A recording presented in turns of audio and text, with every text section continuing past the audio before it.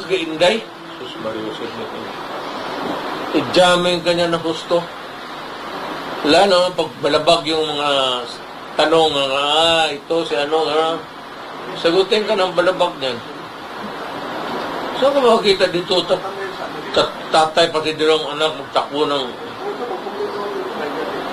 Side snapshot. ano ba na ba? Ma'am, auntie, auntie, hindi na ako babalik ng politika. Tapos na ako. Laos na ako. Wala na akong panggastos, wala na lahat.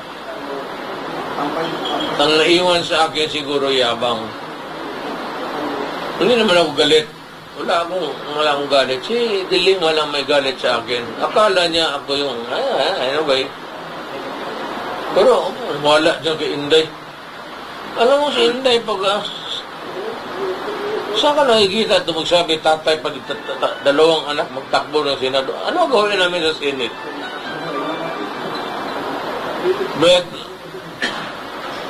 palagay natin tatakbo kami, manalo kami. Magharapan kami ng ama doon sa Senate. Ano gawin namin doon?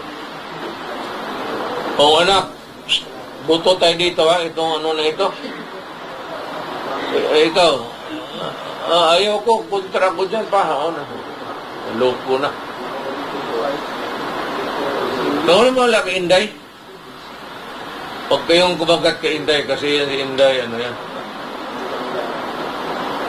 Kagaya ko rin yan.